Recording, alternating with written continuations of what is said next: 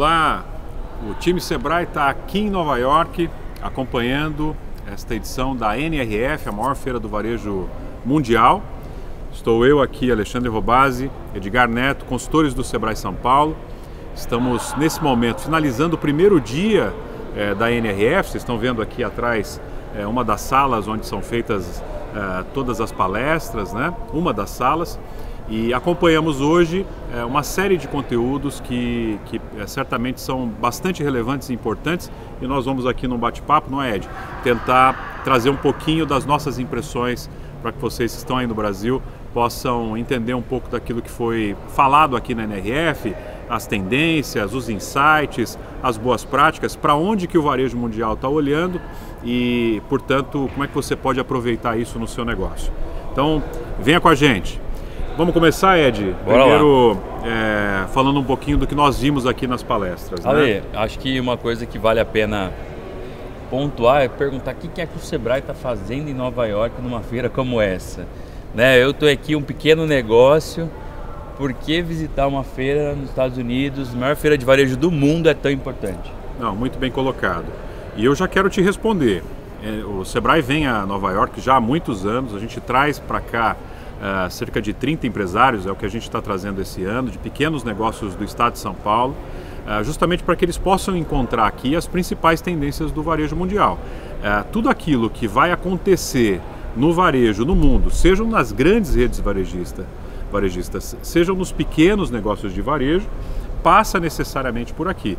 O que a gente viu lá atrás, seis, sete anos atrás, e trouxe como tendência para vocês, hoje, obviamente, já é realidade dentro do seu negócio, você que é varejista. Né? Do ponto de vista de tecnologia, do ponto de vista de comportamento de consumo, enfim, em todas as áreas em que é, o varejo atua, aqui é de fato um grande laboratório onde a gente consegue enxergar os movimentos que o mercado vai ter daí por diante. O que encaixa direto na nossa primeira grande oportunidade do dia que a gente pôde captar. Né? A gente, quando fala disso para vocês, por que, que o nosso cliente veio para cá junto com o Sebrae, a gente depois, inclusive, vai trazer aqui ao longo da semana alguns clientes que vão dar testemunho, que já vieram na NRF, o proveito que eles tiveram, tiraram disso. E acho que uma das coisas que a gente percebeu é, já de cara, o quanto hoje, cada vez mais, quanto mais acelerado e mais rápido eu tiver dados e informações e eu aplicar isso em melhorias contínuas e objetivar isso em processos para melhoria do meu negócio, você consegue resultados muito expressivos. Né? A gente estava agora há pouco aqui num bate-papo com os clientes nossos de Ourinhos que estavam exatamente contando para a gente resultados incríveis que tiveram depois de visitar a NRF em 2020. Isso em janeiro, né? Ali, logo em março veio a pandemia, automaticamente eles tiveram ali muito bons resultados, colocando em prática exatamente o que eles tinham visto aqui com a gente, né? Então assim, e a gente viu hoje aqui, acho que o Alexandre, a gente já conversou bastante sobre isso, que entre um ponto comum de tudo que foi hoje dito, né, a questão de dados, data-driven, deixar o Ali agora explicar para vocês um pouquinho mais sobre isso, mas a, não adianta só ter os dados e levantar isso muito rápido, mas principalmente tomar decisões muito rápidas, né? É, isso é bastante desafiador para o pequeno negócio, né? Nós estamos num momento muito especial, nós estamos numa retomada de uma pandemia, uma pandemia histórica, né? então que trouxe é, de fato muitas mudanças, acelerou é, muito o varejo, especialmente com a adoção de muitas tecnologias. Né? O varejo teve que, em muitos lugares, fechar as portas, isso aconteceu no Brasil. Teve que migrar para o digital, para o e-commerce, teve que aprender a como fazer isso, a entregar é, na porta, a entregar na calçada, né? a construir esse, esse legado de tecnologia para que o consumidor continuasse podendo comprar né, comprar no seu negócio. Então, nós estamos a, a, nesse ano num momento muito especial de entender para onde isso vai. E a gente já pôde perceber que as grandes tendências vistas no pós-pandemia, elas obviamente elas se mantêm, mas é, talvez a grande, o grande tom, a grande nuance seja de fato o domínio da informação. Né? Nós uh, vimos aí em algumas palestras alguns grandes varejistas, por exemplo, a CEO da, da Saks, a Fifth Avenue, ela, ela uh, relatava, por exemplo, é, é essa coisa do, do esse movimento do, das tendências, né? Antes a tendência, por exemplo, no varejo de moda, é, é, a tendência ela era, era feita a cada seis meses, né? Você mudava as coleções, você tinha uma previsibilidade. O consumidor não mudava tanto seu comportamento.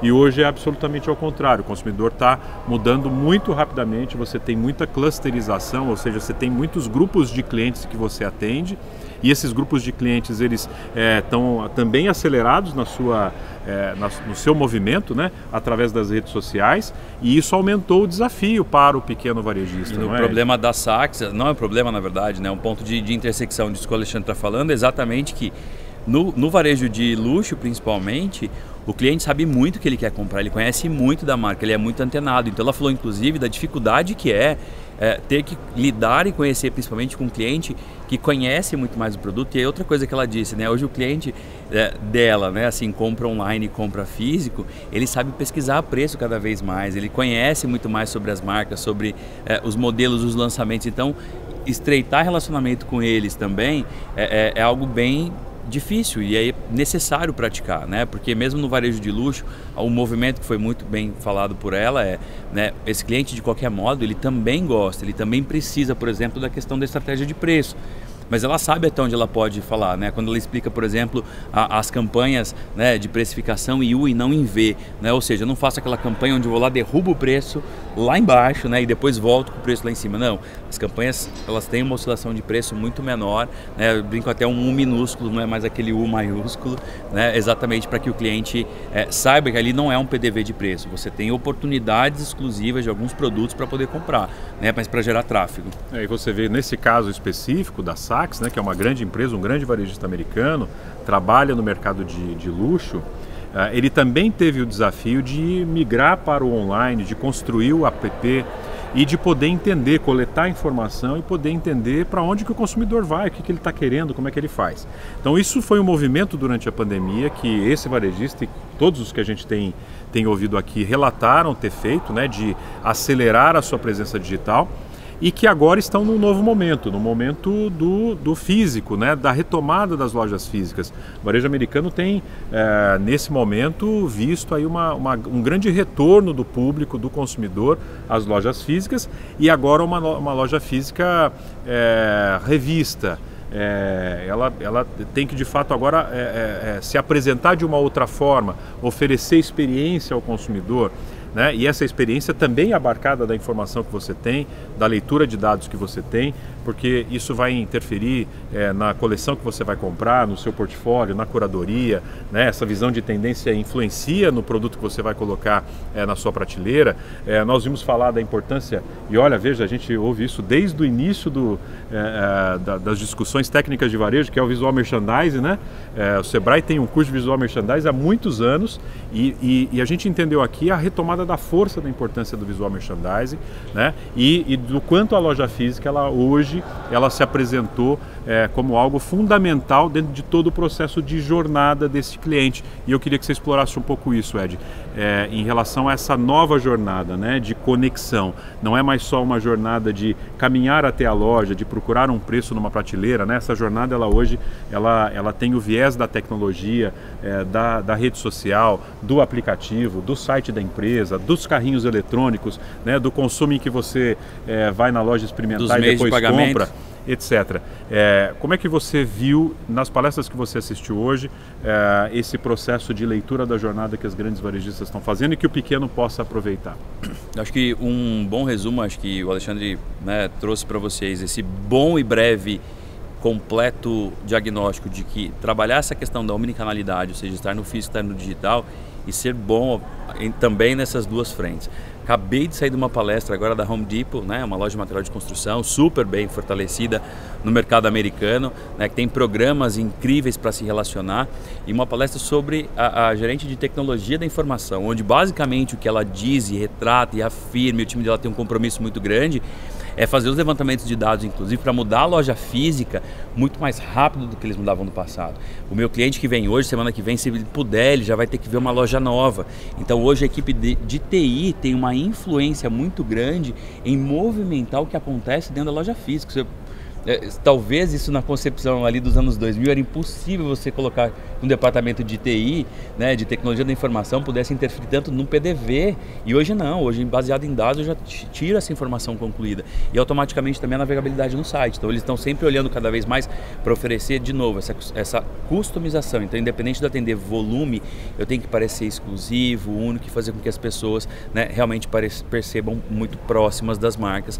E acho que eu queria finalizar com um exemplo da Lego, né, dentre tantas coisas que a gente viu, que eu acho que a gente pode é, sintetizar aqui do primeiro dia, uma coisa super importante é, é, um canal, né? Por exemplo, vocês, vou pedir para colocar depois no GC aqui já para vocês, é innovation.lego.com, né? um site onde o consumidor entra para fazer sugestões de temas para a Lego desenvolver, né? Então ele deu alguns exemplos, Vila Sesmo, o outro, é, o Yellow Submarine, né, dos, dos, Beatles. Então são sugestões que os consumidores entrando nesse site deram, né, para poder fazer a criação de produto. A gente discutiu ainda sobre isso, né, porque a gente fica pensando na viabilidade já desse negócio, sobre royalties, como é que isso funcionaria. Mas nesse nem é o ponto talvez tão mais importante, mas é abrir um canal onde o cliente possa se sentir parte e propriedade da empresa no ajudar a desenvolver o produto.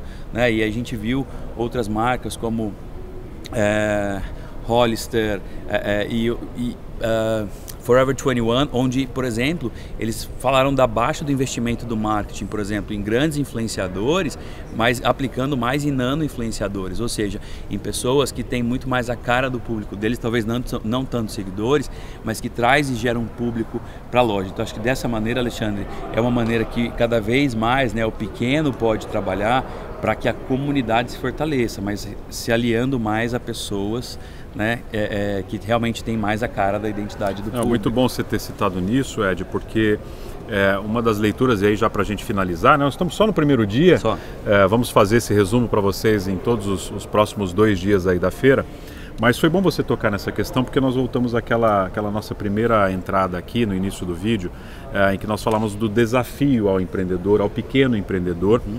é, porque aqui a gente vê coisas é, e ações sendo feitas por grandes varejistas, então temos aqui a obrigação de traduzir para o pequeno.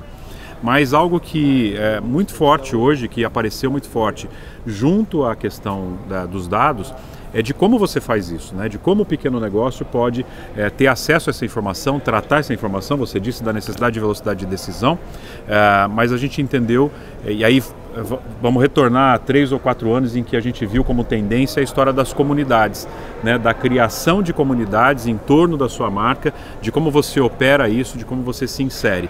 É, você falou dos pequenos influenciadores, dos nanos, dos micros. Talvez esse seja uma possibilidade acessível aos pequenos negócios deles ingressarem com a sua marca, participarem dessas comunidades, para primeiro entender que movimentos essas comunidades estão fazendo, né? Inserir essa marca como parceira nesse processo, mas também como, como leitor daquilo que está sendo apresentado pelos grupos Exato. em que ela participa. E, e, e o grande desafio é que não é apenas um perfil de consumidor. Em geral, os varejistas eles atuam com vários perfis, uh, porque hoje você não mais clusteriza por, só por idade, é só por uma região. Ou classe social. Ou classe social. Nem deve. Exato. É muito mais pelo comportamento, né? Pela, pelos perfis de, de pensamento e de pertencimento. Então você às vezes você está em vários grupos, você precisa se inserir em vários grupos e talvez aí esteja tanto o desafio como uma boa dica para o pequeno empresário que queira de fato melhorar o seu desempenho. É, né? um exemplo foi um site de venda de livros, por exemplo, onde onde o que, que ele faz para de marketing assim uma, uma, das boas plataformas dele é o grupo dentro do Facebook.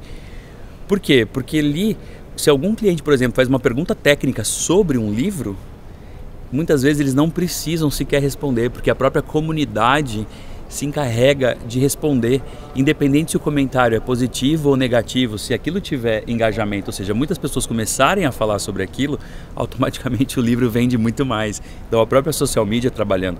E aí a gente entra dentro de várias vertentes, né?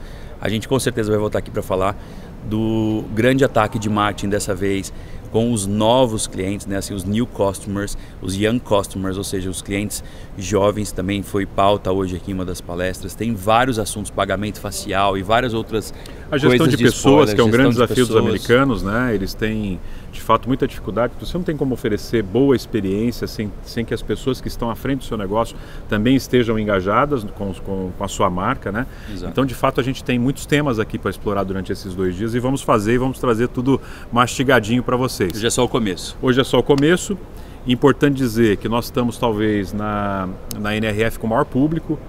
Ainda não temos os dados, mas o que a gente vê de movimentação nas palestras, está muito cheia. Está muito cheia. E muitos brasileiros, né? A gente viu muitas delegações. Talvez também seja um dos anos com a maior presença de brasileiros. Portanto, seu concorrente está aqui, está aprendendo e, obviamente, só o Sebrae vai levar para você, que é pequeno empresário de varejo, tudo aquilo que a gente está vendo e tudo aquilo que pode, de fato, beneficiar o seu negócio daqui por diante. Obrigado, nos acompanhe, nos Até. acompanhe no YouTube, em todas as redes sociais do Sebrae São Paulo.